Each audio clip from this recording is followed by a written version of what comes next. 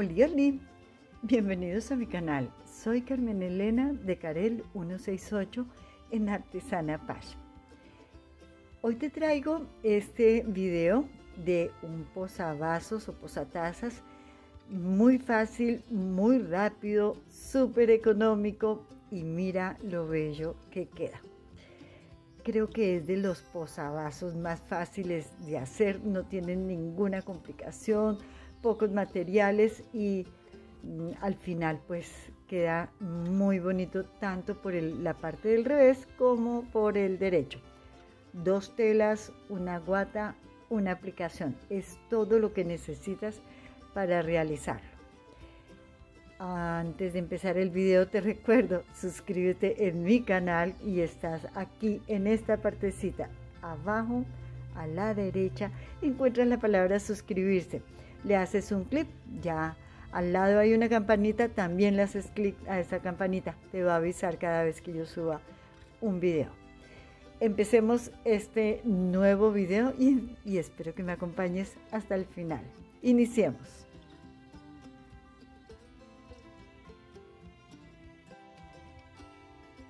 Para hacer el posatazas vas a necesitar una tela que tenga la medida de 30 centímetros por 20 o en pulgadas si trabajas serán 12 pulgadas por 8 pulgadas. Otra tela de la misma medida y por último una guata también igual. Aparte de eso vas a necesitar una aplicación redondita, esta más o menos tiene 7 a 8 centímetros de diámetro. Solamente son esos los materiales. El primer paso es acomodar las telas y la guata. Vas a tomar el derecho de las dos telas, tanto del forro como de la tela. Una anotación, y me parece que es, esta sí se justifica. La tela que yo tengo es bastante delgadita, entonces creo que le voy a colocar una fiselina de las más delgadas. Ya corté la fiselina y el pegante está a este lado. Me voy a la plancha y voy a colocar de una vez ya la fiselina con calor medio. Queda lista esta tela con la fiselina. Ahora sí, vamos al primer paso. Vamos a unir el derecho de esta tela que es el forro con el derecho de la tela principal. Primero las alineas muy bien, muy bien. Y ahora vas a colocar la guata en la parte de abajo. Alineo muy bien todos los bordes y me voy a la máquina y paso una costura por todo el bordecito completito sin dejar ningún espacio. Antes de coser es importante que coloques unas alfileres o unos ganchitos para sujetar bien las telas y que no se muevan.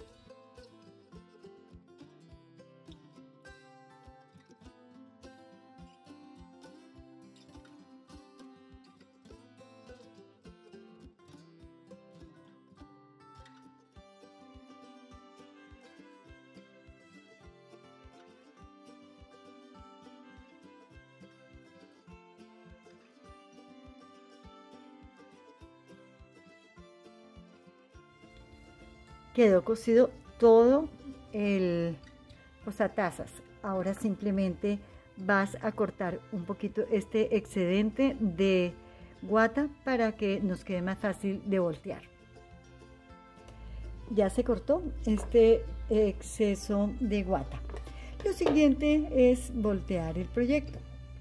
En una esquina de, de esta parte puedes contar más o menos, tú calculas, aquí puede ser más o menos a este lado. No te voy a dar medidas porque eso depende de la aplicación, del tamaño de la aplicación. Entonces más o menos tú vas a colocar aquí a un costadito la aplicación ya que quede equidistante de la costura. En esta partecita hacia la mitad vas a hacer un pequeño Ah, cortecito, pero de la sola tela. No vayas a cortar la otra de abajo, solamente la telita superficial.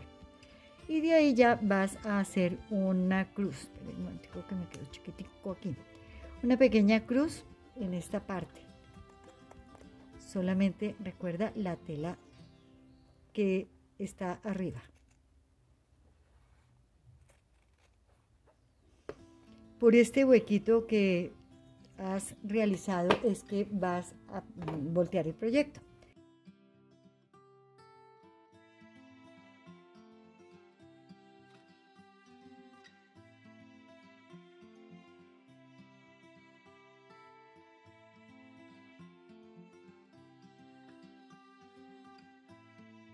quedó volteado ya el proyecto. Te vas a la plancha y vas a planchar muy bien. Ya se planchó por los dos lados. Y aparte de eso, aproveché para hacer unas puntadas superficiales para cerrar la abertura por donde se volteó el proyecto. Lo siguiente es, con la aplicación que tienes, la vas a colocar aquí tapando esta parte que de, de, costura y te vas a la máquina y vas a pasar una costura. Pero antes, como también es muy delgadita la tela, voy a ponerle la fiselina y ahí sí con fiselina y todo bien pegadita se hace la costura aquí con una puntada decorativa.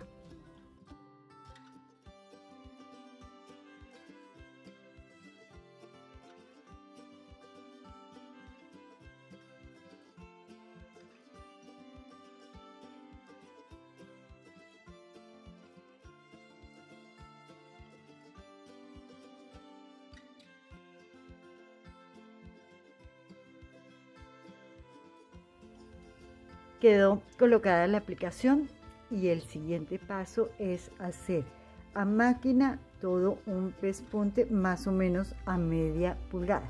Si quieres puedes señalar con un esfero de estos borrables para que quede a modo de guía donde vas a pasar la máquina.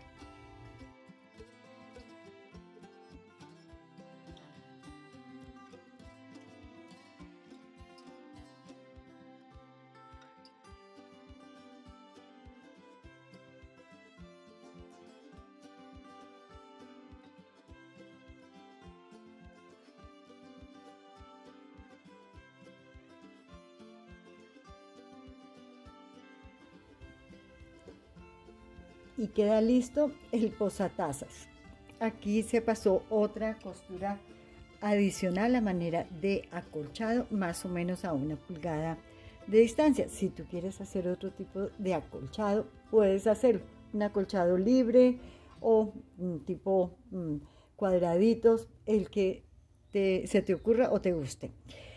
Eh, la parte del otro lado, fíjate también cómo queda no tiene nada, pero aquí ya el acolchado es el que hace como el adorno de la tela.